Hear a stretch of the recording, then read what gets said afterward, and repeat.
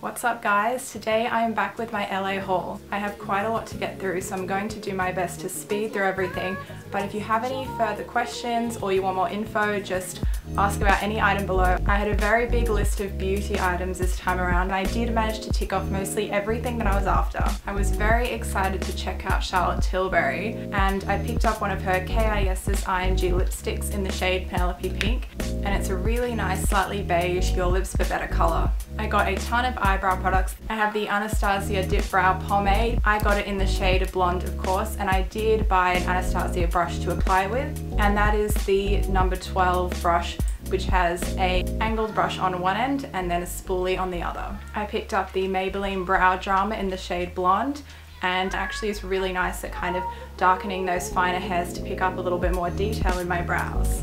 I do not know how I've lasted so long without getting one of these. It is the Anastasia Brow Wiz. This is my new absolute favorite eyebrow product. I've never been able to do my eyebrows faster or look as nice as this. It's kind of like a pencil on one end and a spoolie on the other. So it really is an all-in-one eyebrow product. I'm pretty sure this is featured in every haul of mine where I've been to America. It's the Elf Studio Contouring Blush and Bronzing Powder and it is a knockoff of the NARS Duo and I only ever use the blush side because the contouring is too dark for me but it is by far my favorite blush. You guys know how I love the Naked Basics palette so of course I had to pick up the Naked Basics 2 palette by Urban Decay and this one just features a few more darker shades which I really like because I do find I tend to neglect the lighter shades on my original Naked Basics palette. Ever since I discovered tubing mascara I don't really use drugstore brands anymore but I heard really good things about the CoverGirl Full Lash Bloom Mascara so I'm to give this one a shot. Another product I'm sure you guys know I love is the Laura Mercier Smooth Finish Foundation Powder. I picked up another one of these because whenever I go to America I always have to stock up. It is my favorite full coverage powder. I picked up this Japonesque mineral face brush and it has a flat top which is exactly what I was after and it probably is about a medium density. I decided to pick up an original beauty blender. I've only ever used the knockoffs but I constantly hear people raving about these so I thought I should finally try it. I've been on this hunt for a better full coverage foundation than my Revlon Colorstay. I find it's really hard to get something in the same shade of pale that I am. I did manage to pick up this Tarte Amazonian Clay Full Coverage Foundation. I can't say I like it quite as much as Colorstay yet, but it is definitely a really good colour match for me. And of course, my current favorite foundation is my Revlon Colorstay in both the oily and the dry skin version. You can probably tell the shades are actually quite different, even though they are both in ivory. I picked up two of these because the American formula is different to the Australian formula, and I always like to compare. I decided to upgrade my current nude nail polish by Max Factor, so I picked up Samoan Sand by OPI. Don't you guys find it hilarious that there's a brand called Aussie, but it's not available in Australia?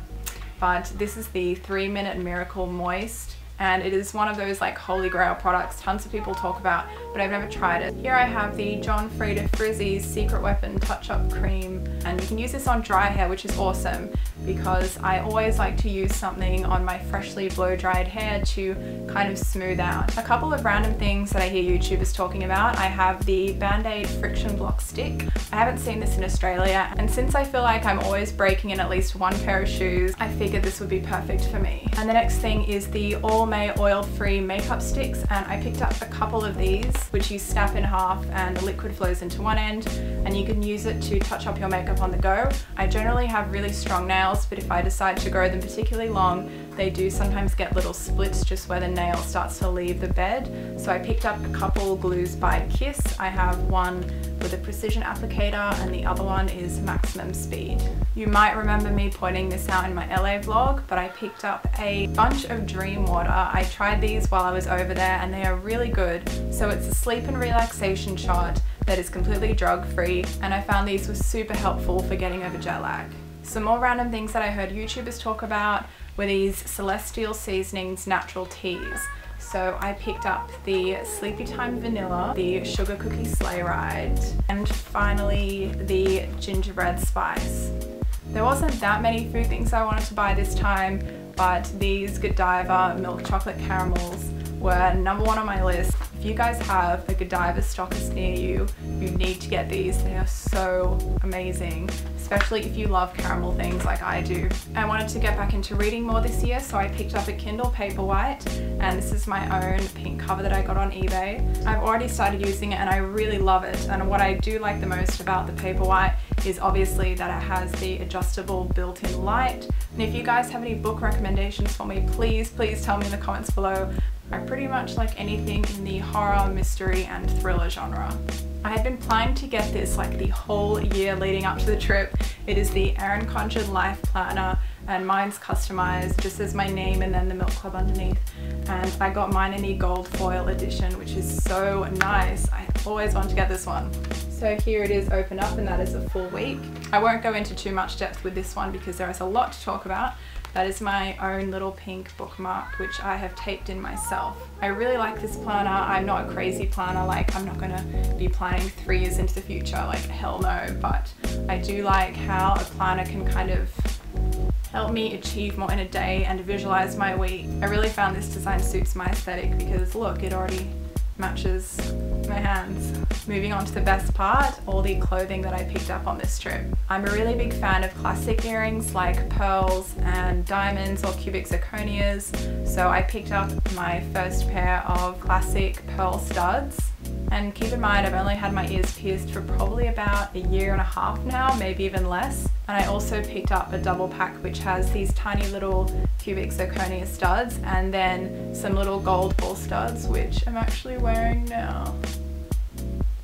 The silver ones in there are my old earrings which I just shoved in there. You might remember me wearing these in my Hawaii vlog on New Year's Eve.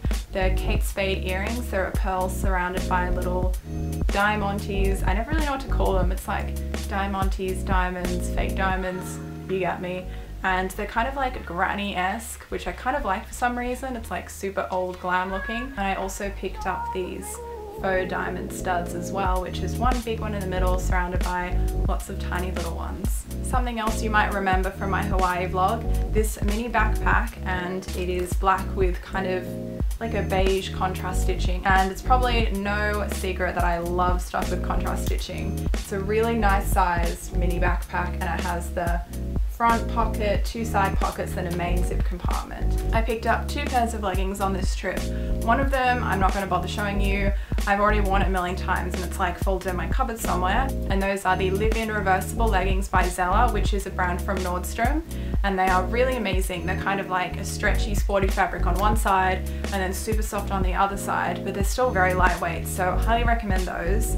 The second pair I picked up were these pink by Victoria's Secret fleece lined leggings and they are like insanely soft. I'm so excited to wear them in winter and yeah they're on sale so I think they only cost like 19 bucks or something. I've been on the hunt for a crossbody bag recently and I was told that Rebecca Minkoff would be the best option and I was like I'm never to wear Rebecca Minkoff, completely not my style. But when I went on the website, I actually found a style that I thought kind of suited me and I actually really liked. And it was called the Mini Crosby. And I thought I wasn't going to find it, but I did. I managed to pick this up last minute in LA from Bloomingdale's, I think. They had two left. And I'm really, really happy with it. It's a great size. It has a top zip compartment and then it has this cute little like lock feature on the front which opens up the front zip the main inner compartment has a lot of little storage pockets, which is great. And then of course there is a large pocket at the back. And I haven't even used this bag yet. It's a problem I have. I always save my things before I do a haul with them. I'm sure some of you are watching this being like, okay Sofie, bring it on, bring out the big guns, where's the best stuff? Of course, I had to save the best for last. I don't ever go to LA without visiting two of my favorite stores, Joyrich and Wild Style. So I went to Joyrich first and you guys might have seen my Instagram post where I was like, guess what I bought? And no one guessed it, no one got it right because I guess it wasn't really the main focus of the picture, but I picked up these awesome sweatpants.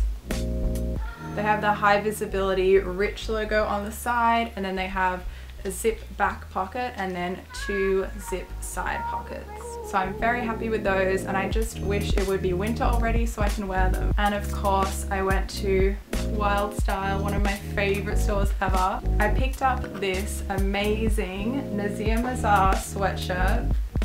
It has got these really cool plastic letters on the front, which is still really flexible and soft, which means it's still super comfy to wear. It also has this white abstract piping that is on the front and then it also continues onto the back.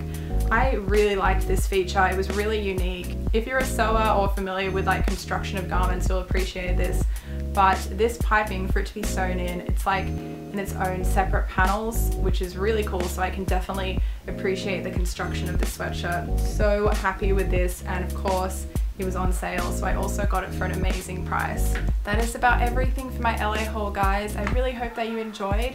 Be sure to hit the like button if you did. I will see you guys in my next video. Bye